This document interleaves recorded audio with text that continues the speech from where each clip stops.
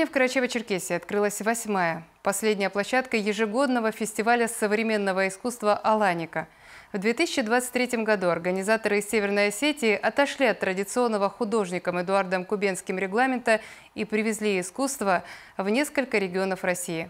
В Карачаево-Черкесии экспозиция «Цветы» появилась на площади перед музеем-памятником защитникам перевалов Кавказа в поселке Орджоникидзевском. На месте побывал наш корреспондент Артур Мкце.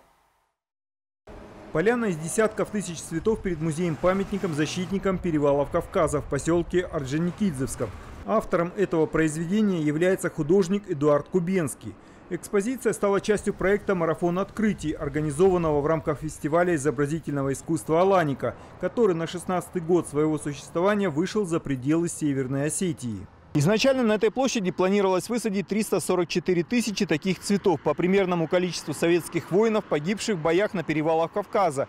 Но тогда мемориальному комплексу пришлось бы подыскивать куда большую территорию для поляны памяти. А так в итоге было найдено компромиссное решение. По словам автора идеи, для создания своего творения он постарался как можно лучше узнать историю Великой Отечественной войны, в частности изучить страницы обороны перевалов Кавказа. Так, стрелянные гильзы – это отсылка к смертным медальонам, которые помогали при опознании погибшего воина. Из подручных средств, из патрона вытаскивали пулю, высыпали порох, туда вкладывали бумажки и пулю засовывали в обратную сторону. И получается, получался такой новый медальон. Сегодня, когда находят э, на тающих ледниках останки солдат, э, и при них находят такие жетоны, сразу же становится понятно, что это советский солдат. И в некоторых жетонах сохраняются еще и бумажки, которые могут идентифицировать. Сооружение состоит из десятков тысяч стрелянных гильз, закрепленных на стальной проволоке. На ветру они издают мелодичный звук, сравнимый с флейтой пастухов. Это своего рода отсылка к предмету, который в регионе издавна использовали во время выпаса домашних животных. Позже такой экспонат стали создавать из металлической трубки оружейного ствола, то есть предмет, который изначально предназначался для военных целей, использовали для мирной жизни – в числе почетных гостей торжественного открытия поляны памяти были руководитель Государственного музея изобразительного искусства имени Пушкина Елизавета Лихачева и организаторы фестиваля «Аланика» из Северной Осетии.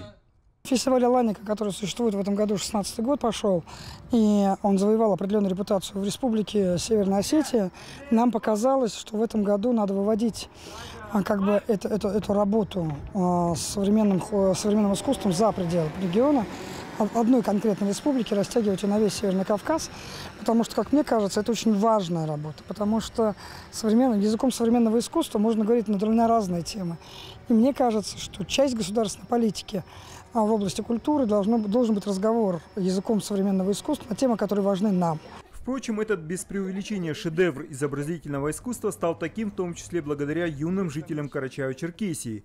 Ребята из юноармейского отряда «Ураган» Прикубанского района помогали автору воплощать его творческие идеи на практике. В данном проекте мы участвовали с первого дня. В 7 утра мы выезжали из села Привольное, приезжали сюда, и каждый из нас с огромным интересом принимал участие в данном проекте, поскольку это наша история. И огромное спасибо организаторам за возможность нам поучаствовать в истории, э, что мы можем подать пример другим детям, что наша история в наших руках. Отдав дань памяти погибшим защитникам перевалов Кавказа, участники мероприятия посетили сам музей – помещении приглушенный свет как бы воссоздавал тревожную атмосферу времен Великой Отечественной войны. И в этой обстановке по-новому зазвучали произведения поэтов Карачаева-Черкесии в исполнении солистов Северокавказского филиала Мариинского театра. Артур Мухцели Бастанов, Вести Карачаева-Черкесия, Карачаевский район.